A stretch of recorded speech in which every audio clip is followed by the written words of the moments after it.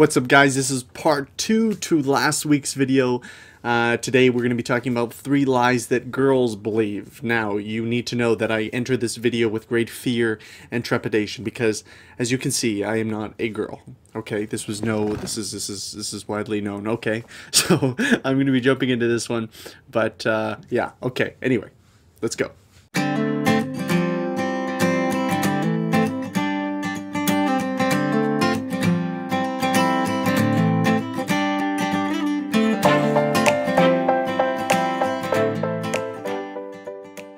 Okay, so the first one is that outer appearance is more important than inner character. Now that's a lie, but I think so many girls actually believe that. They focus so much on the outside, the outside appearance.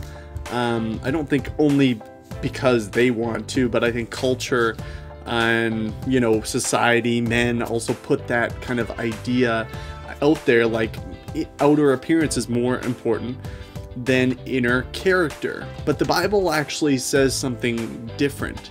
It actually talks about man looks on the outward appearance, but God looks at the heart.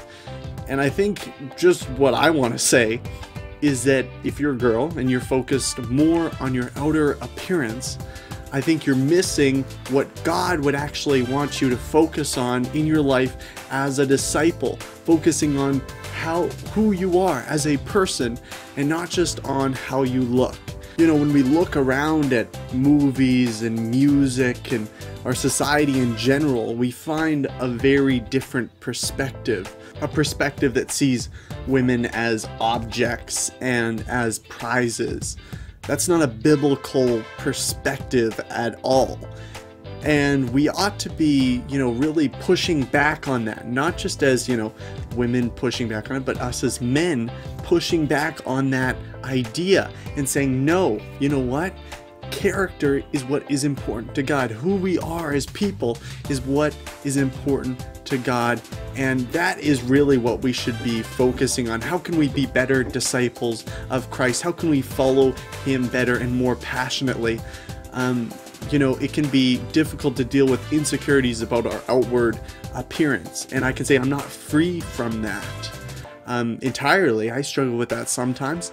But you know what? When we can take on God's perspective and see ourselves as He sees us, we can be confident. That's number one.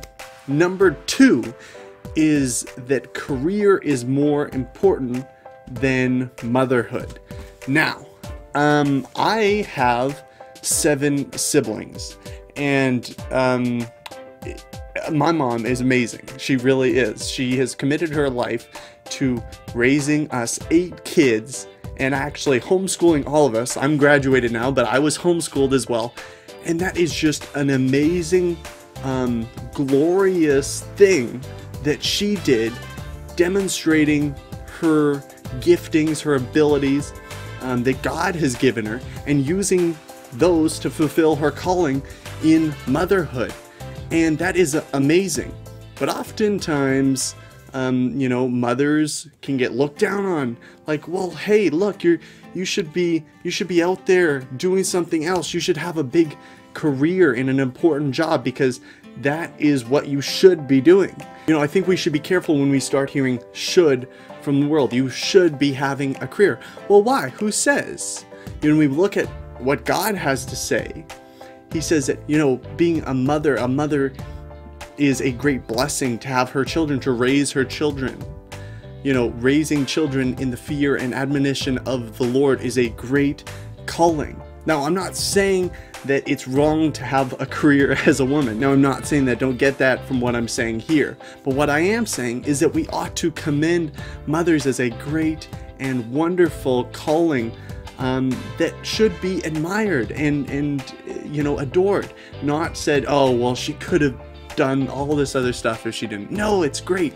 It's wonderful, and you know, it's having a career is not more important than being a mother. And I just want to say that for the the young women out there that are kind of tossing around, oh, I kind of, I just want to, you know, I kind of want to be a mother. I kind of, that's kind of where I feel like my calling is.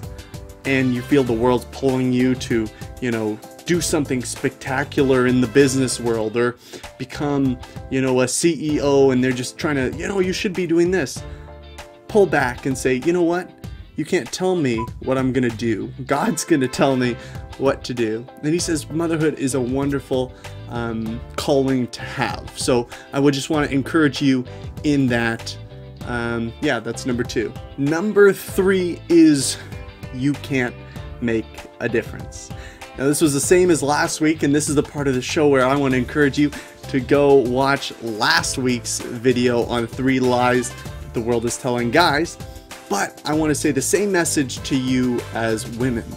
You can make a difference. But like I said to the guys, it's about being faithful. It's not about the big stuff. It's not about having the huge impact, impacting millions of people. It's about impacting 10 people in your life, two people in your life, one person in your life, being faithful to be a witness, to speak truth, to serve. This is where the game is changed. This is where we can become our faithfulness. We can implant ourselves in a community to make real um, a real difference through just being faithful in the little things. It may not be spectacular, it may not be glamorous, but it is where we're called to. And you know what? You may believe you can't change the world, but beginning through with your home, with your family, being a servant with your family, being a servant with your friends, with your church, with your community in general. That is where it begins, and that's where we need to really dig into the faithfulness that God has shown us. He, he's our example, and we can just show that faithfulness to other people through serving, through speaking truth in love, and just, you know, pouring into our communities, families, and churches. That's where uh, the big difference is going to be made. Thanks so much for watching, guys.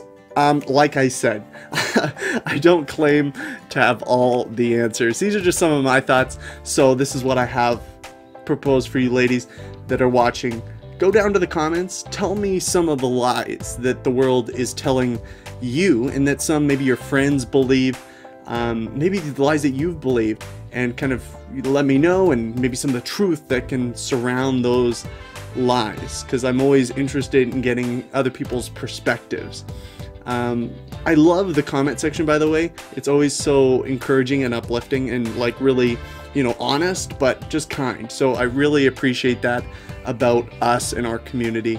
Um, if you guys enjoyed this video, be sure to give it a like and subscribe for more videos. Um, I try to release at least one a week, maybe two. So we'll stay uh, tuned on that. Check out dailydisciple.ca if you're interested in my blog posts. I put out them frequently, and um, I hope you check them out. Thanks for watching, guys, and I'll see you next time. Bye, guys!